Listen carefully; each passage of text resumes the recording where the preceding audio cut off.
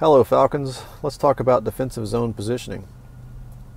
In this video, we're going to watch two video clips showing our positioning over the past few games. I want you to pay attention to our positioning, notice how we're watching the puck, and notice how we're chasing the puck. You'll notice all five of our players are positioned down low, all focused on this puck carrier, and forgetting about these open players here. So here we are in our defensive zone against Columbia. We got the puck carrier in the corner, and one, two, three, four, five players all looking at the puck carrier. Meanwhile, there's four players that are wide open in the middle.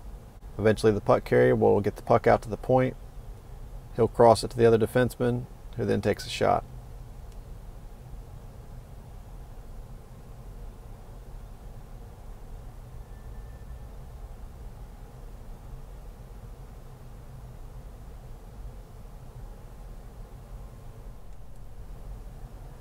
In this clip, almost the same thing's happening. We got one, two, three, four, five players all focusing on the puck carrier who's down in the corner.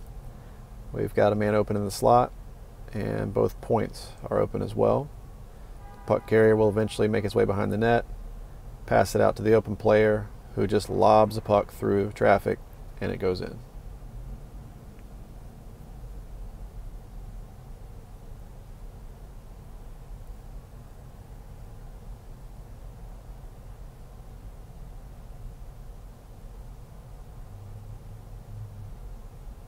So the best way to eliminate scoring opportunities is to know our jobs in the defensive zone.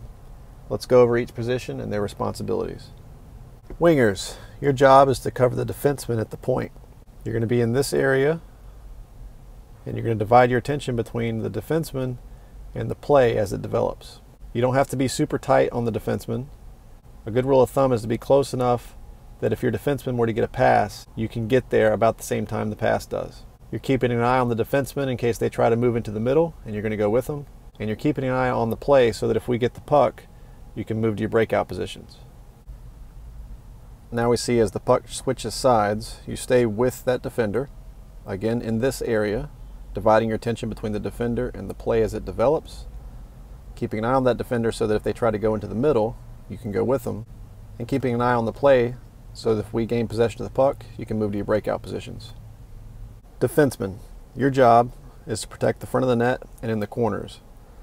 If the puck goes into the right corner, the right defenseman will race to get that puck. The left defenseman will guard the front of the net. If the puck then were to move from the right corner to the left corner, the right D would go back to the front of the net, swapping with the left D, who will then chase the loose puck into the left corner. If you get to the puck first, initiate a breakout. If you don't get to the puck first, you want to gain inside position on this forward and in front of the net, the right defender will gain inside position on this forward. If the puck then moves to the right corner, the left D needs to beat this forward back to the front of the net and gain inside position, just like the right defender has done on this forward. Here you can see the left D has gotten inside position on this forward. The right D has lost the race to the puck, but gained inside position on the forward and applying pressure. These two defenders need to work as a team to retrieve loose pucks out of the corner and never leave the front of the net unprotected. The center's job is to support the defenders and help protect the middle of the ice. If you're asked to play zone, you want to take up a position in this area, supporting this defender while keeping an eye on this open forward. You're in this area in case this forward beats this defender and goes to the net. You want to divide your attention between this open forward and the puck battle. If you're asked to play man on man, you're going to pick up that open man and stay with him. Make sure to take inside position between the forward and the net and help protect the middle. Here's how it would look on the left side. Center's playing zone, keeping an eye on this forward, and also supporting the puck battle in the corner. Again, he's there to back up the left defender in case this forward beats him and comes back to the net. Here the center's asked to play man on man, so he's sticking with this forward. Now let's put this all together. Follow your position while this animation plays. Know your position's responsibilities. If you're playing center and you're asked to play man-to-man, just imagine this center is playing tighter on the open forward. Otherwise, everything else is the same. Make sure you know your position. Ask your coach if you have any questions, and watch this as many times as you like. See you on the ice.